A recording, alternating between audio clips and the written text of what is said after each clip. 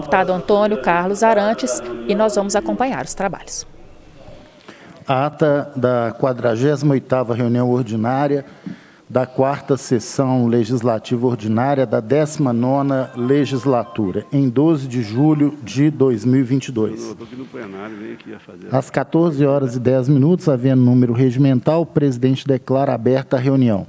Comparecem os deputados Antônio Carlos Arantes, doutor Jean Freire, Carlos Henrique, Arlen Santiago, deputada Ana Paula Siqueira, deputados André Quintão, Arnaldo Silva, Bartô, deputada Beatriz Cerqueira, os deputados Bernardo Mucida, Betão, Betim Pinto Coelho, Boas Carlos Pimenta, Celense Trocel, Celise Laviola, Charles Santos, Coronel Henrique, Chan Silveira, Eli Grilo, Dorgal Andrada, doutor Paulo Duarte Bexi, Elismar Prado, Fábio Avelar de Oliveira, Fernando Pacheco, Guilherme da Cunha, Gustavo Mitre, Gustavo Aladar, João Leite, João Magalhães, deputada Laura Serranes, deputados Leandro Genaro, Léo Portela, Leonídio Bolsas, Noraldino Júnior, professor Irineu, Sábio Souza Cruz, Thiago Cota, Tito Ulisses Gomes, Virgílio Guimarães, Zé Guilherme Zé Reis.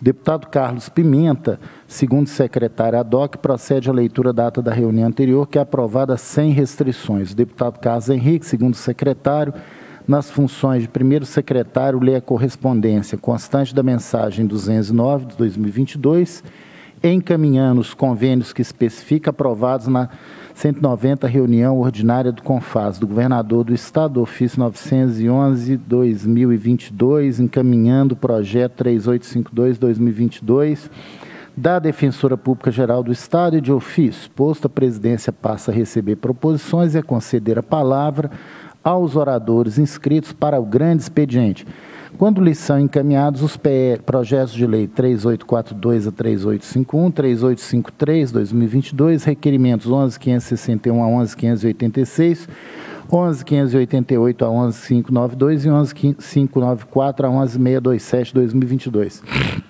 O requerimento ordinário 1279, 2022 e comunicações da Comissão de Saúde dos deputados Roberto Andrade e Guilherme Tito Torres.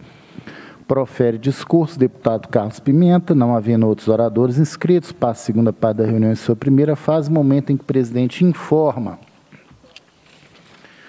ao plenário que em reunião realizada no dia 6 de julho, a mesa da Assembleia deferiu o requerimento 11479-2022 relativo a candidatura do deputado Agostinho Patrus ao cargo do conselheiro do Tribunal de Contas do Estado, qual foi encaminhada à comissão especial nos termos do artigo 238 do Regimento Interno. Profere decisão determinando a anexação dos projetos de lei 3664-2022 e 3091-2021 ao projeto de lei 1399-2020 por guardarem semelhança entre si, em forma que foram aprovados nos termos do parágrafo único do artigo 103 do Regimento Interno, os requerimentos números 11.562 a 11.567, 11.569, 11.570, 11.574, 11.576 a 11.584, 11.597 a 11.608, 11.610, 11.614, 11.616, 11.622 e 11.627 2022.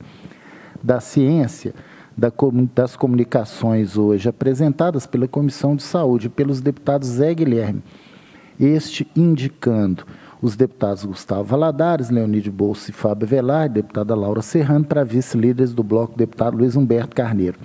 E Roberto Andrade, indicando a deputada Celise Laviola e os deputados João Vitor Xavier, Zé Reis, Guilherme da Cunha e Arnaldo Silva, para vice-líderes do governo e defere o requerimento ordinário 1279-2022. Nesse passa a presidência, verifica de plano a inexistência de quórum para a continuação dos trabalhos, encerra a reunião, convocando as deputadas e os deputados para a ordinária de amanhã, dia 13, às 14 horas, anunciando a ordem do dia. Já é, do dia, levanta-se a reunião. Ata da reunião ordinária da quarta sessão legislativa ordinária da 19ª legislatura em 3 de julho de 2022, presidência da deputada Rosângela Reis. Às 14 horas e 15 minutos comparecem as deputadas Ana Paula Siqueira, o deputado André Quintão, Bartô, Bernardo Bucida, Betão, Celense Trocel, Charles Santos, Cristiano Silveira, Dorgal Andrade, Elismar Prado, Fernando Pacheco, Guilherme da Cunha, Elitar Nas Franco, Deputado Ione Pinheiro, João Magalhães, Léo Portela, professor Cleiton, Rosângela Reis, Sávio Souza Cruz, Virgílio Guimarães. Com a presença de um 21 parlamentares, a presidência deixa de abrir a reunião por falta de quórum, convoca os deputados e os deputados para a ordinária de amanhã, dia 14, às 14 horas, anunciando a ordem do dia. Ato da reunião ordinária da quarta sessão legislativa ordinária da 19ª legislatura, em 14 de julho de 2022, presidência do deputado Cleitinho Azevedo. Às 14 horas e 14 minutos, comparecem o deputado Carlos Henrique, deputado Andréia Bartô, Beatriz Cerqueira, os deputados Betão, Carlos Pimenta, Celinho Stossel, Charles Santos, Cleitinho Azevedo, Orgal Andrada, Fernando Pacheco, Guilherme da Cunha, Inácio Franco, deputado Ione Pinheiro, os deputados João Leite, Léo Portela, Leonide Bolso, professor Irineu, com a presença de 18 parlamentares. A presidência deixa de abrir a reunião por falta de quórum e convoca os deputados e os deputados para a ordinária de terça-feira, dia 2 de agosto, às 14 horas, anunciando a ordem do dia. Essas são as atas, senhor presidente. Muito obrigado, deputado André Quintão. Em discussão, as três atas. Não havendo quem sobre ela se manifeste, dou-a por aprovada. A presidência passa a receber proposições e a conceder a palavra aos oradores inscritos para o grande expediente. Com a palavra, o deputado Sargento Rodrigues. Com a palavra, o deputado Sargento Rodrigues. Na tua ausência, a deputada Ana Paula Siqueira. Com a deputada Ana Paula Siqueira. Na tua ausência, o deputado Virgílio Guimarães. Virgílio está ali presente. A palavra, Virgílio, está com você. Obrigado, senhor presidente. Senhor presidente, em primeiro lugar, eu cumpro aqui o doloroso, muito doloroso, é, encargo de comunicar à casa o falecimento da querida professora Inês Assunção de Cássio Teixeira, uma professora muito conhecida, professora da Faculdade de Educação da UFMG, professora da PUC, UFMG, uma pessoa que teve uma liderança enorme no movimento de professores de Minas Gerais, ajudou a fundar o Sindiúte de Contagem, presidiu a entidade dos professores do Estado e, é largamente conhecida pela contribuição que, que deu ao aperfeiçoamento do ensino, qualidade do ensino, que foi sempre a sua preocupação. Militante de esquerda, militante das, de todas as causas sociais desse nosso Estado, do Brasil, foi militante do Partido Comunista do Brasil e deixou os seus filhos, deixou, sobretudo, inconsoláveis, seus amigos, seus, seus familiares, né, que são, têm uma tradição enorme em Minas Gerais, na área musical, na área da cultura. Por essa razão, senhor presidente, eu pediria um minuto de silêncio em homenagem à memória da professora Inês Assunção de Cássio Teixeira. É regimental. Minuto de silêncio.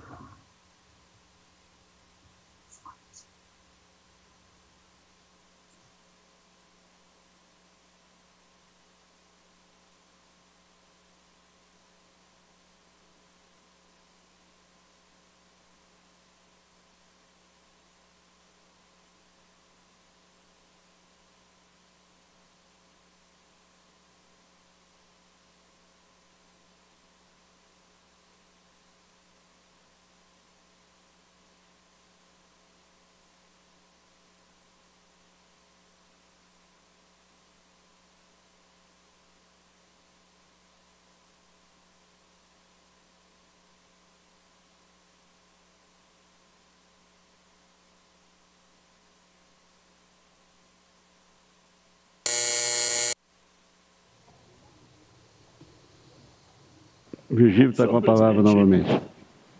Senhores deputados e deputadas, é, como os telespectadores podem facilmente observar, a nossa pauta, a da Assembleia Legislativa, está sobrestada nesse momento. Também, já de uma certa tradição em nosso país, de que nas épocas é, eleitorais, haja uma espécie de recesso branco nos legislativos. Nós vamos começar agora, daqui a 15 dias, é, estamos começando, já estaremos em plena campanha eleitoral, daqui a duas semanas, e aí, sem dúvida nenhuma, é da, da tradição haver esse, esse período chamado recesso branco. Eu creio que é, tal tradição ele, existe, é, talvez na esfera nacional, em função da necessidade dos parlamentares se encontrarem em seus, em seus estados, fazendo suas campanhas, em grande medida pelas eleições. Creio também que mesmo no estado, até numa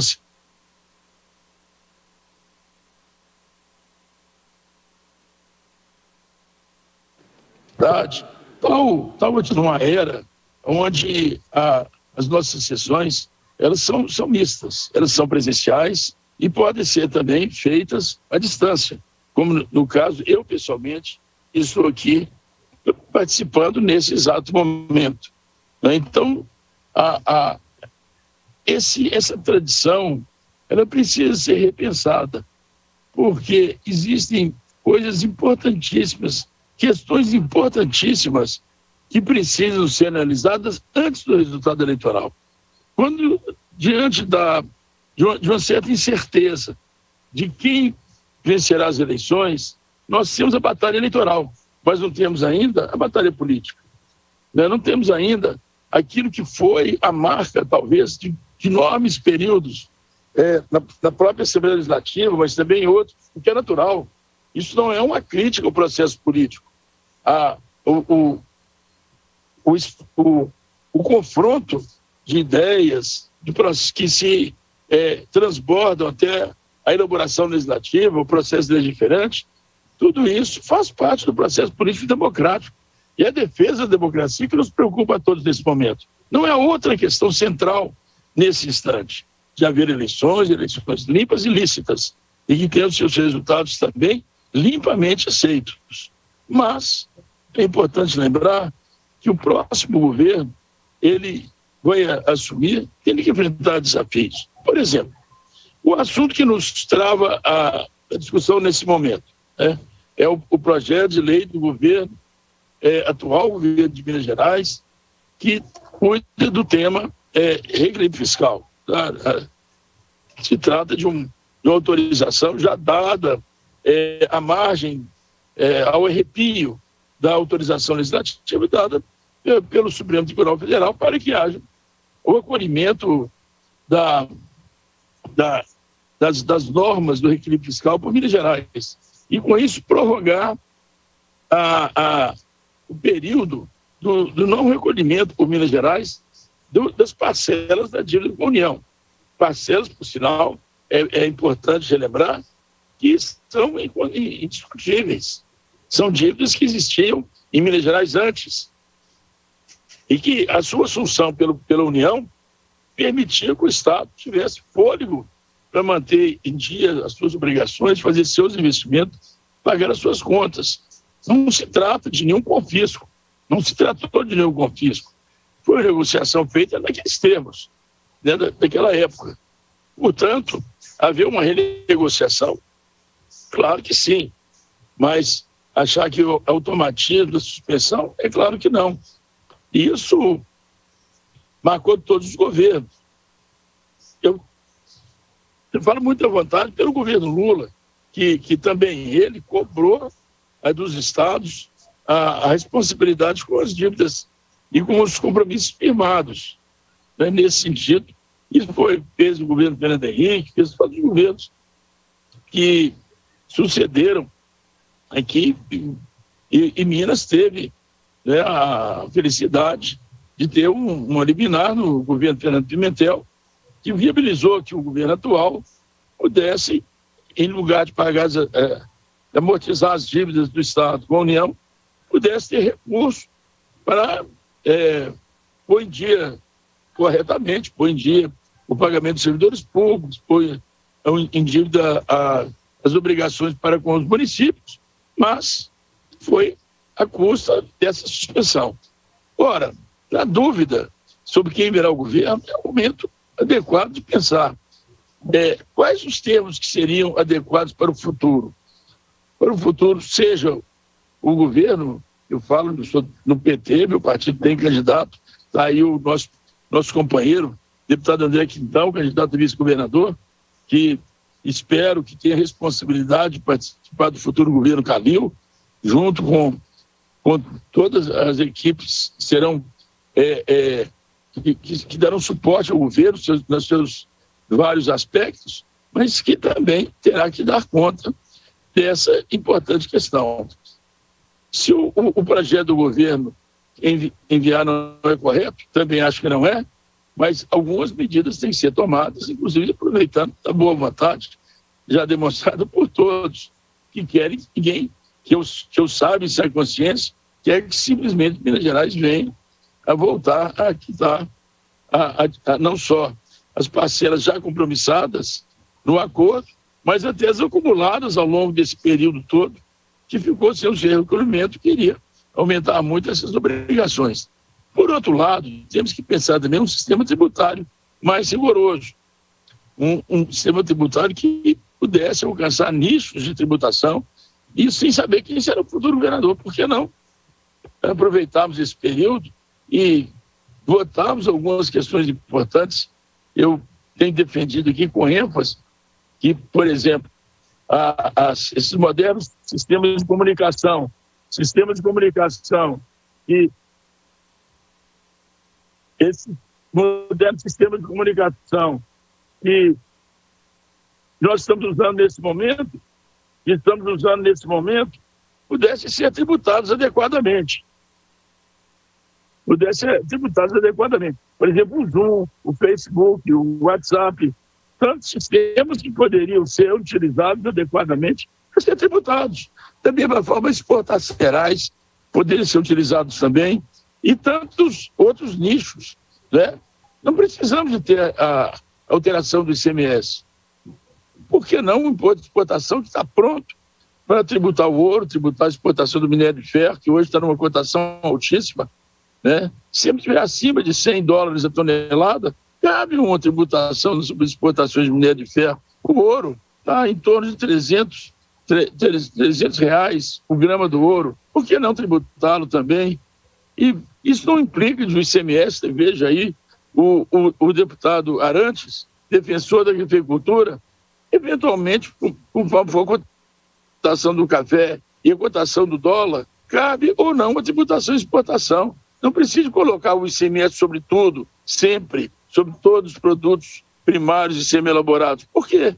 Não um imposto regulatório, que pode incidir ou não, de acordo com a região, de acordo com as circunstâncias em que ele pode ou não ser tributado. Em imensa maioria do tempo, o café, nosso café do sul de Minas, perderia a, a sua competitividade se fosse tributado. Portanto, é o momento da incerteza, é o momento de se pensar com maior isenção uh, algumas questões que são, por sua própria natureza, muito polêmicas, porque atingem o coração do, do o coração das atividades econômicas do governo. Como eu disse, as responsabilidades com o ajuste fiscal, responsabilidades com a dívida contratada e também os nichos de tributação que podem ser é, incorporados ao sistema tributário do nosso Estado. Portanto, é um momento em que, estando em eleição, pode haver, inclusive no primeiro segundo turno, não haver disputa política. A tendência é sempre alguém querer sempre um saco de bondade, distribuir benesses. Nem sempre isso é adequado e viável. Eu creio que, uma, que um amadurecimento agora é, tem capimento às áreas técnicas, às discussões com os setores econômicos, tudo isso, até porque se a Assembleia não está em recesso real, é, o recesso branco é algo que sempre é alvo de ataques, de, de ser mal visto pela população e ataques por parte da imprensa, que, que, que foca é, plenários esvaziados, comissões que não se realizam e, e coisas que são naturais. Do ponto de vista da vida política, porque a eleição é muito importante, mas nem sempre isso é visto como naturalidade. Portanto, fico aqui acentuado que nós precisamos, ou seja, durante o período eleitoral, ou logo depois, dar respostas para que o futuro governo tenha condições mais sólidas de construir alternativas econômicas, projetos de desenvolvimento, projetos de, de solução para a infraestrutura, para os seus desafios na área, tanto na, na, na, área social, nas diversas áreas sociais, educação, saúde, segurança, mas também adequadamente ter um plano de pelo menos médio prazo, de quatro anos, para haver atendimento mais adequado aos pleitos e demandas dos servidores públicos. O que eu teria a dizer, senhor presidente, é compreensível o excesso branco, mas dado as nossas possibilidades tecnológicas, do convívio, da, do, das, das reuniões presenciais com as remotas e, sobretudo, com o funcionamento de toda a nossa Assembleia, de suas equipes técnicas, que não estão em recesso, que podem perfeitamente continuar atuando para que nós proporcionemos avanços importantes para viabilizar o nosso Estado e não só o futuro governo. Tenho dito. Muito obrigado, deputado Virgílio Guimarães. Não havendo outros oradores inscritos, a presidência passa a segunda parte da reunião com a primeira fase do ordem do dia, compreendendo os atos da presidência, as comunicações, apreciação de pareceres, requerimentos e indicações. Estão abertas inscrições para o grande expediente da próxima reunião.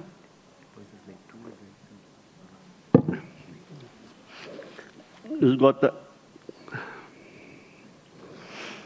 A presidência comunica que foram reprovados, aprovados conclusivamente nos termos do parágrafo único do artigo 103 do Regimento Interno os requerimentos números 11.628, 11.638, 11.643, 11.647 a 11.000 653, 11.655 a 11.657 de 2022 da Comissão de Segurança Pública, 11.640 e 11.641 de 2022 da Comissão de Trabalho, 11.664 a 11.666 de 2022 da Comissão de Desenvolvimento Econômico, 11.674, 11.675 11.679, 11.680, 11.682, 8.683, 11.686, 11.689, 11.691 a 11.695 e 11.697 a 11.722 da Comissão de Direitos Humanos, públicos para fins do artigo 104 do Regimento Interno. A Comissão de Direitos Humanos comunica a apreciação conclusiva de matéria na reunião extraordinária de, 11, de 14 de 7 de 2022.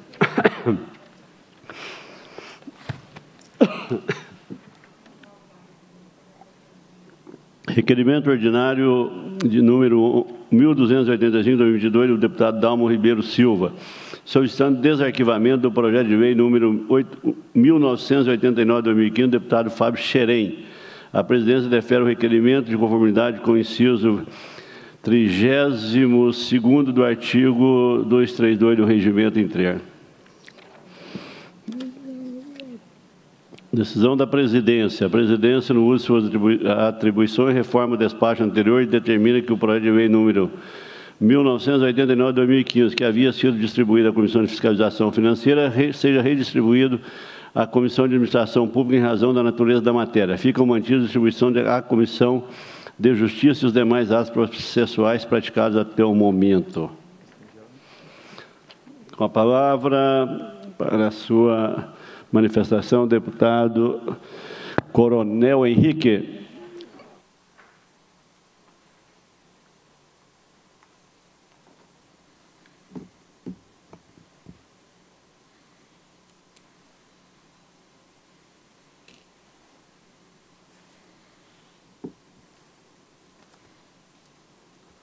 Senhor presidente, senhoras e senhores deputados que nos acompanham de forma remota, ouvintes da TV Assembleia, redes sociais, nesse retorno da nossa atividade legislativa, senhor presidente, eu não poderia deixar de registrar que, apesar de estarmos num momento particular de pré-campanha eleitoral, a atividade do parlamento não para.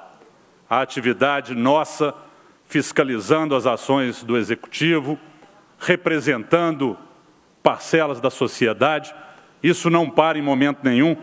E venho à tribuna para registrar e agradecer eh, uma solução de um requerimento, requerimento número 7.115 de 2020, de minha autoria, de 10 de dezembro de 2020, em que encaminhamos para o delegado-geral da Polícia Civil para que houvesse uma sensibilidade e que fosse incluído no rol de peritos criminais da nossa Polícia Civil o profissional médico veterinário. Depois do advento das leis e o reforço das leis de maus trato aos animais, cada vez mais um profissional que seja habilitado para caracterizar as práticas de abuso e maus tratos em animais é necessário na Polícia Civil. Além disso, crimes que deixam vestígios animais, por exemplo, o acidente, a tragédia de Brumadinho, em que foram vitimados os animais, nós também temos a necessidade de uma equipe transdisciplinar, mas principalmente do profissional médico veterinário que esteja habilitado a fazer a atividade técnica da perícia de maneira adequada. Além disso, esses profissionais, peritos, médicos veterinários da Polícia Civil, poderão também emitir laudos sobre fraudes em produtos de origem animal e tudo que envolva essa cadeia produtiva em que a Polícia Civil seja demandada para emitir os seus laudos. Portanto, gostaria de informar a esse plenário, informar ao Estado de Minas Gerais, que 24 médicos veterinários estão já hoje realizando o seu curso de capacitação na Academia de Polícia. Parabenizar esses colegas médicos veterinários que estão na vanguarda. São os primeiros profissionais médicos veterinários do Estado de Minas Gerais que integram uma equipe qualificada e específica. Esse fato já ocorria em polícias de outros estados e também, especialmente, um quadro altamente qualificado de peritos na Polícia Federal. Minas Gerais, atendendo a essa solicitação de um parlamentar que também é técnico. Tem muito orgulho de, como médico veterinário, ter liderado esse pedido que hoje é uma realidade no estado de Minas Gerais, melhorando a qualidade dos serviços que a Polícia Civil entregará à nossa sociedade mineira. Muito orgulho de, como deputado estadual, representar os médicos veterinários nesse momento importante em que a Polícia Civil integra nos seus quadros esses profissionais que, a partir de agora, estarão lá determinados como peritos criminais, médicos veterinários. Parabéns a todos, sucesso no seu curso de formação e que dentro em breve toda a sociedade mineira contará com o apoio desses profissionais que cooperarão para que os crimes e que a justiça seja feita. E partiu daqui, dessa Casa das Leis de Minas Gerais, essa atenção toda especial para que o nosso Poder Executivo pudesse complementar essa demanda. Muito obrigado, parabéns aos colegas médicos veterinários, vida longa à medicina veterinária. Muito obrigado, senhor presidente. Muito obrigado, deputado Coronel Henrique. A presidência encerra a reunião e convoca os deputados e os deputados para a reunião ordinária de amanhã, dia 3, às 14 horas, com a ordem do dia a ser publicada. Levanta-se a reunião. Agora são 2 horas e 43 minutos.